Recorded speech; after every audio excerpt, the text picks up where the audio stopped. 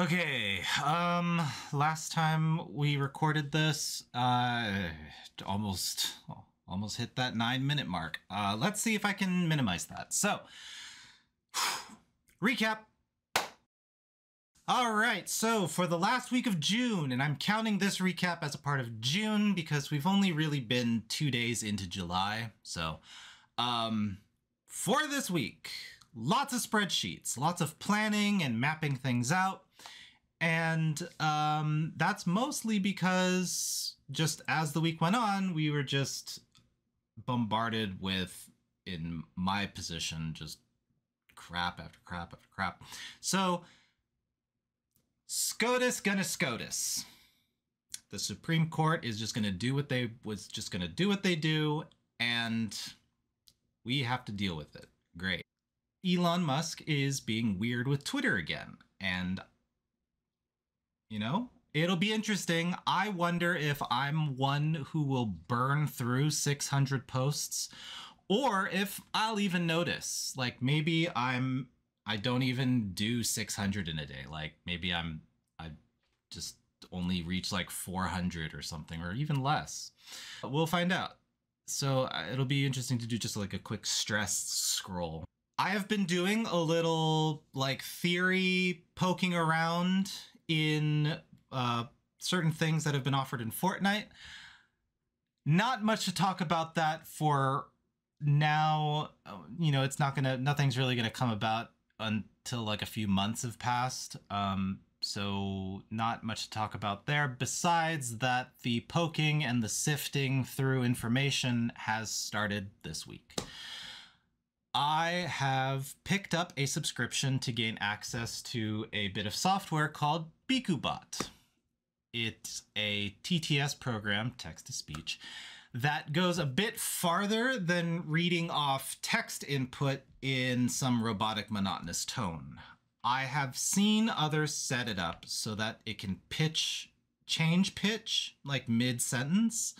It can slow down, speed up, even like do kind of like a whisper little effect to hilarious effect. And that's what I'm doing right now. I'm tinkering around with the program to just understand what I can do, where the limitations are, and just kind of seeing what sort of unintended things I might be able to sort of squeeze out of this program. And as a quick example, right now it's geared toward and the programming's targeted for Twitch streams and streamers as YouTube has a more sort of finicky API, or so I'm told, I have no grounds to really speak on this area. It's just way out of my intelligence range. But I think I have a janky workaround so that it can work with YouTube. But first, I have to educate myself with BikuBot to see where I can go and before I can test theories that I have on paper on topics less important.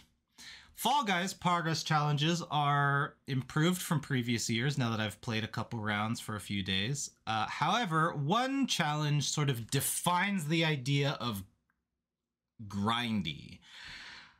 So I have never been okay with simply start up the thing six times or five times, whatever. Like, I'm okay with succeed or get past five stages or seven stages because if you load up a game you can go through like seven stages right?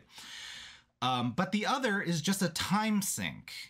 Like get this right so with this challenge the basic way to or the fastest way to sort of get it done is to start the game load level one then afk let all the other players you know cross the finish line so that you lose you get dumped back into the lobby, you start the game, rinse and repeat. There's no, it doesn't drive you to play the game, you know? You just load in, lose, dump back into lobby, do it all again. And that's frustrating to me. You know, bring back jump 16 times, uh, grab grab an opponent like uh what was it 15 times or something i hated that one for the record but i would like that one more than this current challenge that exists Tears of the Kingdom is going amazingly. It, it is my kind of escapism. It's my favorite way to just sort of zone out uh, whenever I have some free time. It's like a long fantasy road trip to me. You know, you have you have your main goal, but just getting there, you have all these little side things. You know, the quirky little gas station, the interesting little fruit stand, the the knickknack shop. and that's been June. So I guess we're on to July. Goodbye.